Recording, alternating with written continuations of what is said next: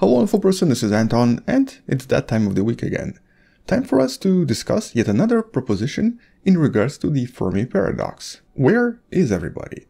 Why is it that despite years of search, and despite decades and decades of very active observation, no alien species anywhere out there has ever been definitively found?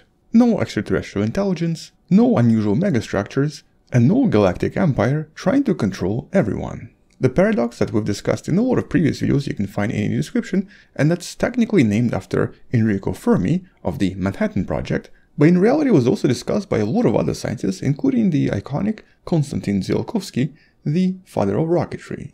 And today we're going to be focusing on some of the explanations and propositions sometimes referred to as the Hart-Tipler conjecture, as well as discuss this relatively recent paper that you can find in the description that provides a bit of a counter-argument using black holes as potential sources of extremely powerful quantum computers, something that in theory we should be able to detect if this paper is correct. So yeah, it's going to be a pretty loaded topic. Black holes, aliens, and quantum computers.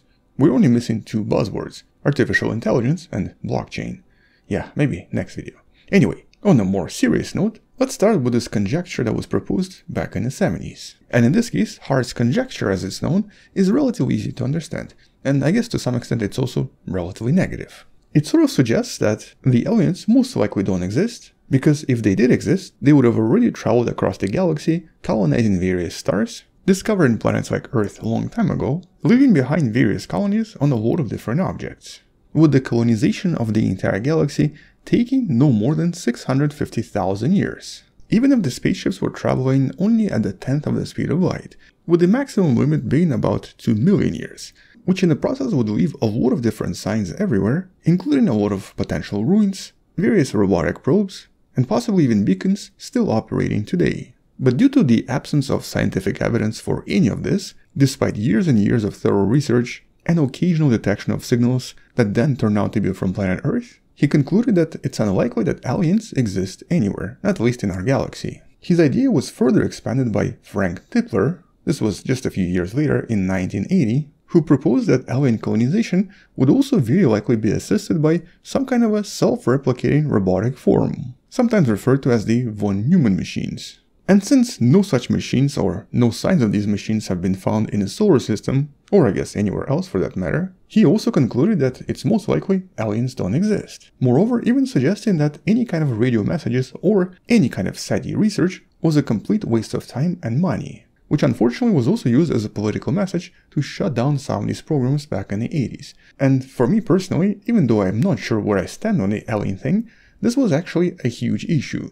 It's fine to make a scientific proposition that aliens might not exist, but calling this type of research a waste of time and money is definitely incorrect. The majority of this research still leads to some incredible discoveries with time, as we've learned from a lot of different discoveries in the last few years. Nevertheless, back then, in 1981, Senator William Proxmire ended up killing the funding for one of the SETI programs because of this argument made in their paper. As a matter of fact, this conjecture almost entirely killed the SETI effort. But, without getting too much into politics, I actually wanted to discuss what modern scientists believe about this particular conjecture and why to some extent it was extremely biased and somewhat incorrect. And so even though the aliens themselves might not be around, the explanations from the conjecture are not the reasons for that.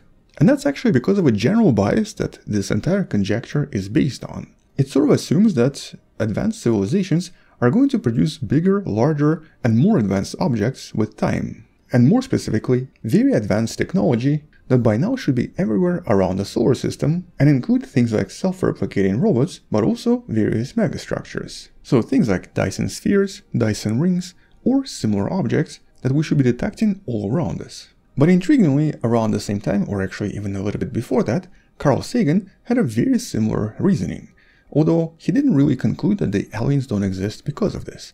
Carl Sagan did speculate that, in some sense, aliens should be spreading across the galaxy, possibly encountering other aliens, and possibly even interacting with certain spacefaring civilizations. But when these civilizations meet together, it will be extremely difficult to predict what's going to happen. But more importantly, it's actually a little bit unreasonable to apply sociological approach from here, from planet Earth, to something that's entirely not human.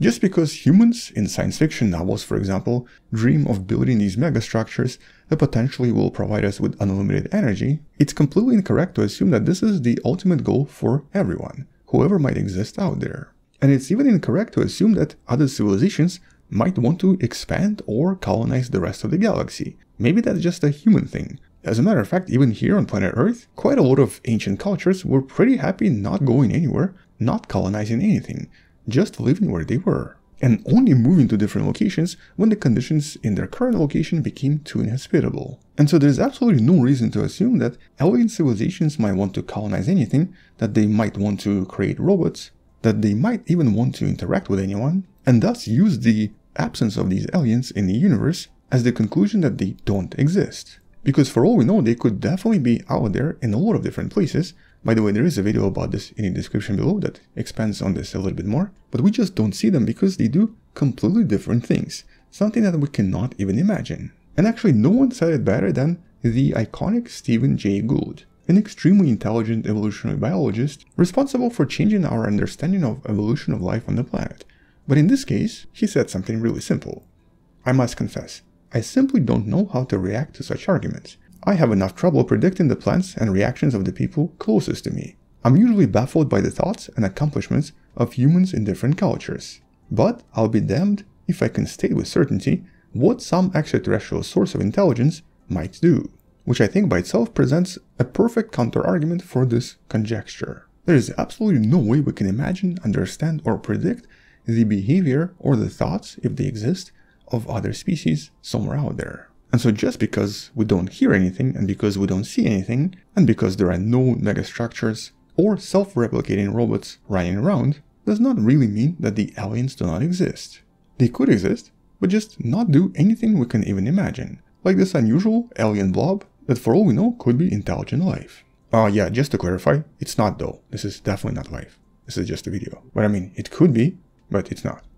But it could be. Nevertheless, based on this conjecture, we can definitely make certain conclusions. First conclusion is that it's unlikely that there are very old galactic civilizations with very similar behavior to humans that would want to colonize everything. In other words, the Galactic Empire probably does not exist. We can also make an assumption that if alien civilizations exist out there, their ultimate goal is completely different from what we can imagine. They probably don't go flying around spaceships, introducing themselves to everyone, and they're also unlikely to create these vast structures, megastructures, or even vast megacities visible from really really far away from hundreds of light years away from us. As a matter of fact, the so-called Kardashev scale that suggests that these civilizations eventually grow in size and start to consume even more energy, eventually becoming Type 3, where they can utilize the energy of the entire galaxy, are most likely not real. Some scientists have even suggested that it's possible that most civilizations do quite the opposite. They kind of miniaturize things and they become extremely efficient, with the main idea being really simple. Instead of creating super large structures, the level of advancement of a typical civilization is really measured by the amount of miniature stuff they can manipulate. In this case, things like molecules, atoms, and eventually subatomic particles. And once they reach these levels, it's unlikely that they would actually need to manipulate anything else on larger scales. Just like the discovery of the atomic energy transformed our society, the manipulation of even smaller particles can lead to even further advancements, potentially even providing unlimited energy that way. And based on modern understanding of physics, and specifically based on the Nobel Prize in Physics from 2022, it's really, at the moment, all about quantum physics trying to figure out the quantum reality and how the quantum world works, how it interacts with everything around us, and how it can potentially lead to completely new technologies, including new ways to communicate. And this is where we get to the next obvious explanation for why we don't hear anything.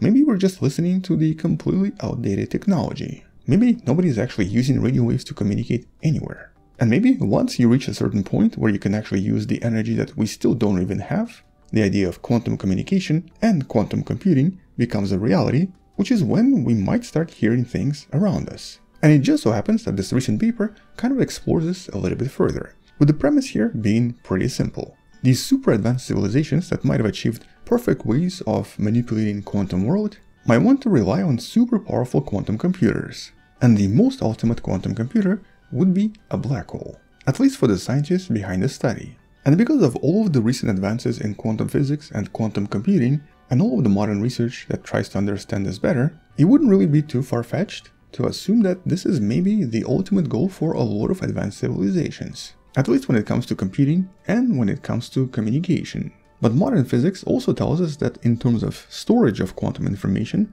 black holes seem to be the best. And so when it comes to processing and storing quantum information, one might assume that advanced civilization would want to use something like this. But intriguingly, according to the scientists in this paper, these black holes would not be natural, they would actually be artificial, very likely smaller than a typical black hole, but also more energetic than the ones we see around us. Black holes that would be created through some kind of a process of particle collision, and that would then emit all sorts of photons and neutrinos through the process of Hawking radiation. You can learn a little bit more about this concept in one of the previous videos in the description. And so the scientists in this paper assumed that these types of black holes would also produce a very specific type of high energy neutrinos detectable by facilities like the IceCube Neutrino Observatory located in Antarctica. The facility that's technically able to detect even a single neutrino passing through the layers and layers of ice. And this is something that's been proven many times, with many of these detections then localized to a very specific location in the night skies. And once these neutrinos are found, by looking at certain types of photons, it might become possible to identify if this is actually one of these artificial black holes, slash quantum computers. But naturally, this is a very hypothetical proposition, something that the scientists kind of thought of, something that made sense to them, but something that still does not explain anything about the Fermi paradox or the non-existence of alien signals. Nevertheless, a very intriguing proposition that does involve a new potential type of black hole that we've never considered an artificial black hole, maybe created by an alien species, and possibly even used for other purposes, such as the Penrose process, the process that allows us to steal energy from the black hole, making these objects, technically, a source of unlimited energy. And intriguingly, this idea and this process, originally proposed by Roger Penrose, has officially been shown to be possible using analog black holes right here on Earth. The experiment and the research should be available in the description below. But other than that, well, for now at least, that's all we have. We have the Hart-Tipler conjecture that's unfortunately a little bit too biased for its own good, and then we have several counter-propositions and counter-explanations that essentially suggest that we probably just don't understand aliens at all, if they exist. Maybe they don't exist. And we've explored some of these other ideas in the videos you should be able to find in the description below. And as I mentioned in some of the previous videos, this is going to be a series I'm going to be continuing pretty much every week, for as long as there are topics to cover. So do check out the entire playlist for the Fermi Paradox in the description below. On that note, thank you for watching, subscribe, share this with someone who loves learning about space and sciences, come back tomorrow to learn something else, and maybe support this channel on Patreon by joining channel membership or by buying the Wonderful Person t-shirt you can find in the description. Stay wonderful, I'll see you tomorrow, and as always, bye bye.